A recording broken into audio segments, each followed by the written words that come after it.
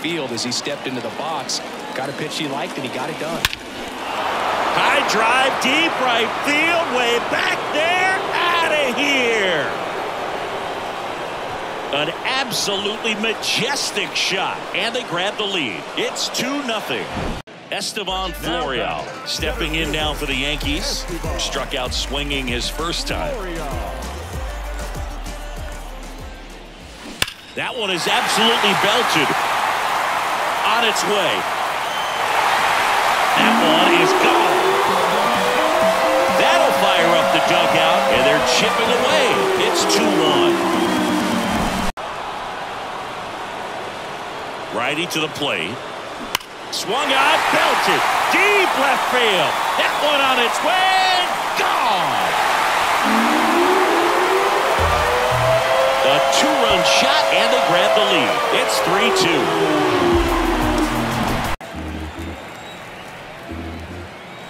The pitch. Drilled to center. That's way back, and you can't forget it. Home run. Towering home run from Stanton. The Yankees score first. It's 1 nothing. Hitter gets pitch ignition early, he saw exactly where that was going to be. The challenge, not get over anxious and come out of your swing. He stayed on it and got all of it. And that will end the inning.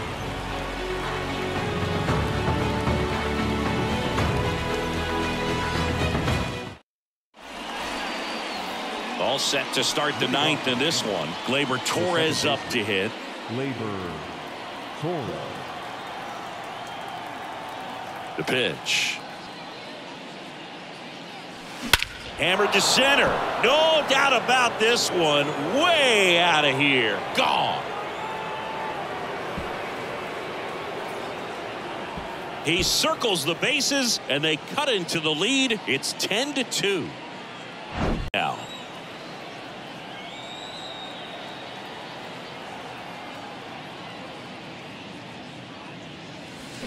Hammers that one deep left field and forget it. He's done it again. His second homer of the game. And they're chipping away. It's 10-3. Back.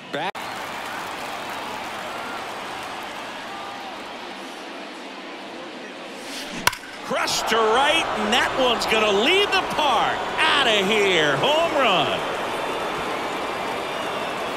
That'll fire up the dugout, and they cut into the deficit. It's 10-4.